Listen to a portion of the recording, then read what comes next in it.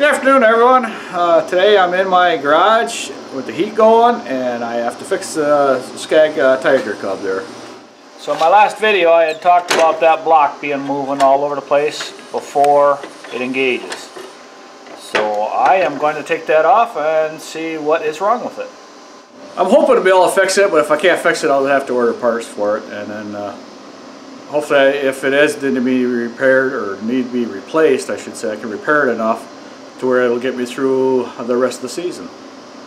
So uh, let's take it apart. The first thing I'm gonna do is take the damper off so I don't I'm not fighting resistance to that thing so I can see exactly what's going on.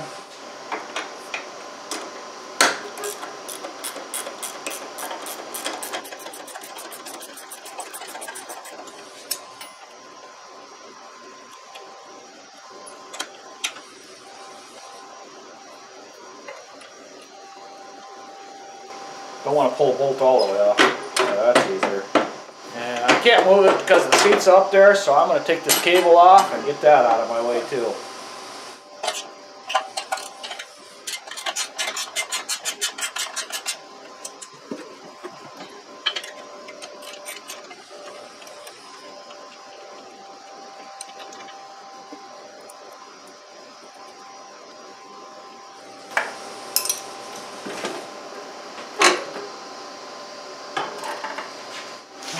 Okay, can you see any of that?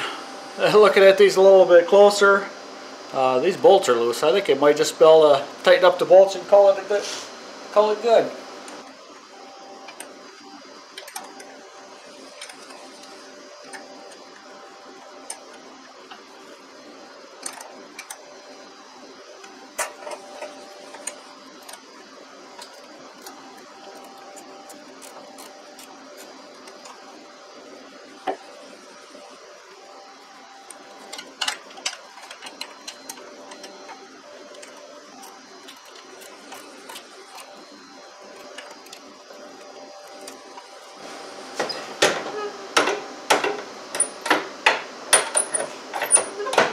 Well, believe it or not, I think that's all it took.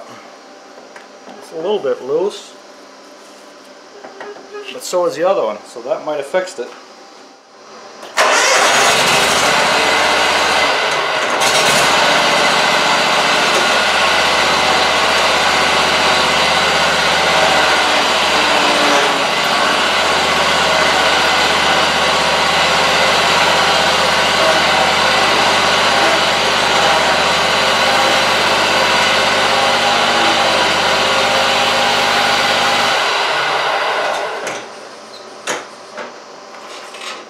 Well, off a little bit, so we're going to have to adjust that out. Okay, now as far as adjusting this handle, all it is is this rod right here. There's a jam nut on this side and a jam nut on that side, and just turn the rod.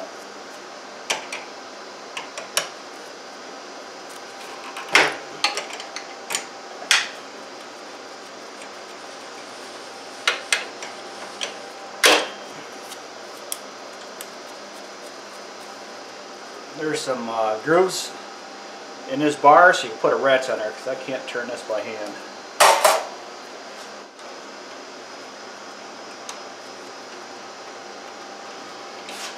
Well, since that won't come loose, I can't put any heat to it in there, I have to take it off.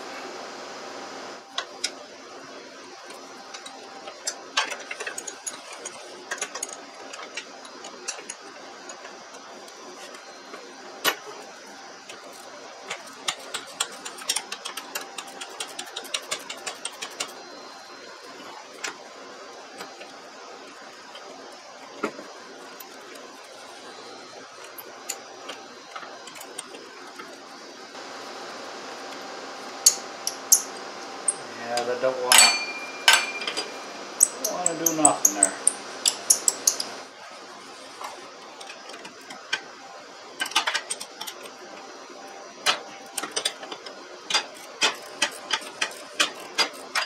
This wears it after reloading. The wrong for my voice.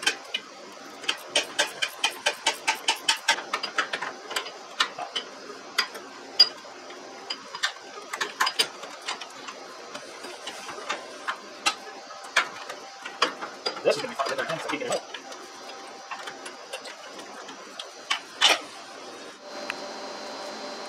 What's going on is, I don't know if you can see that. You can see the corrosion in there.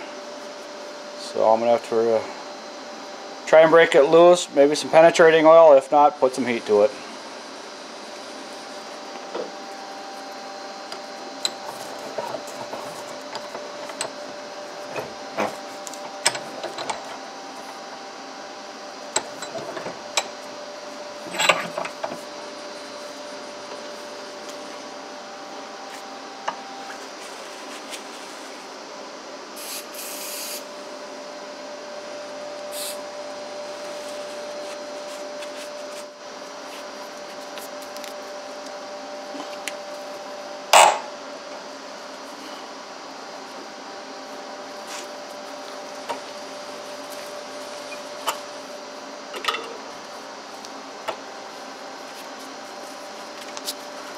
Amazing what a little breakaway will do.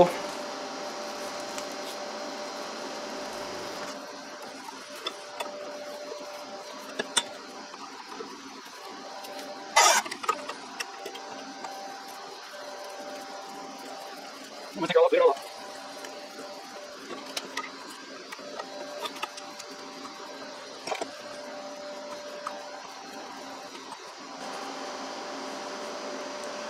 They may never have to take it apart again, but it never hurts to put some anti-seize on it.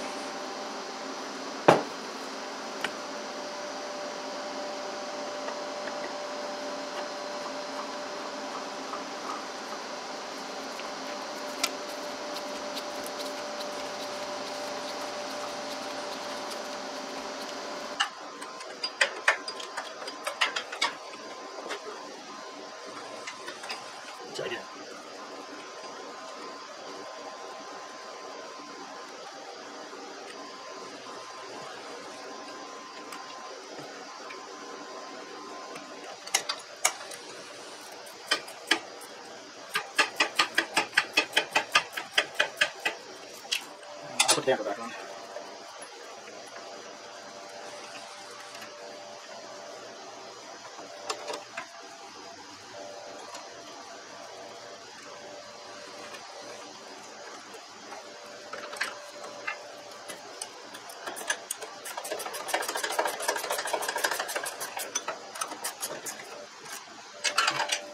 Okay, so now they got everything all freed up, we'll start from square one.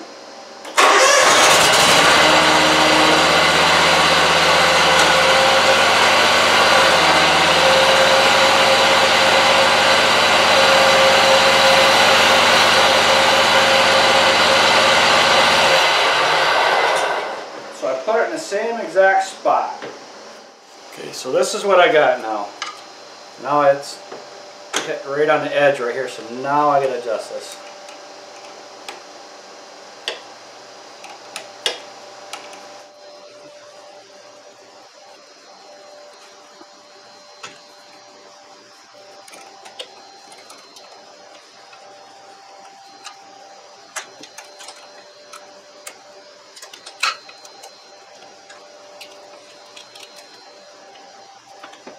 A little bit until you're in there, but make sure work it through.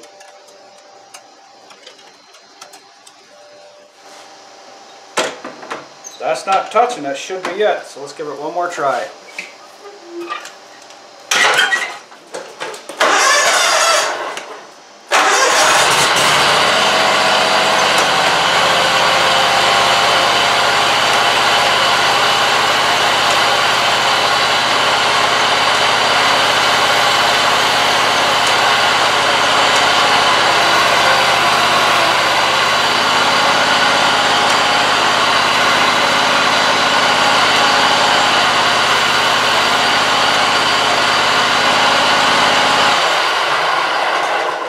Just a little bit too much. So we just gotta take it back a little bit.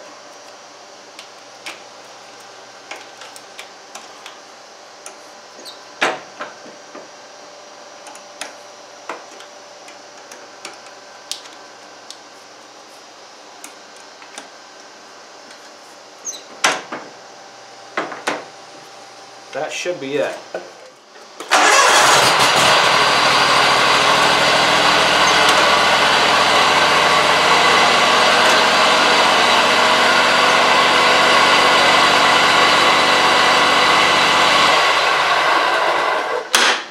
That's it, it's done. All we gotta do now is just tighten up these jam nuts.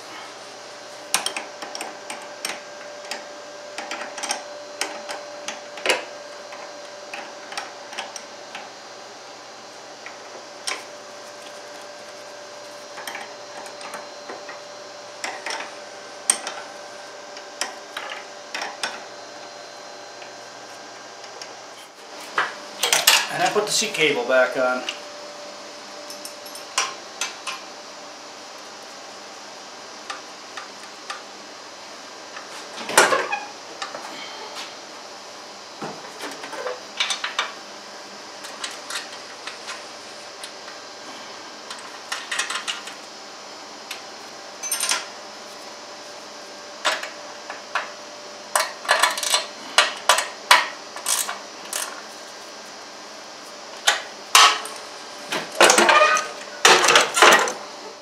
That little project there of me stumbling across that block that was loose yesterday when I was out doing a leaf cleanup, when I was cleaning, blowing the leaves all off, I happened to notice it looked a little different. And uh, tightening it up.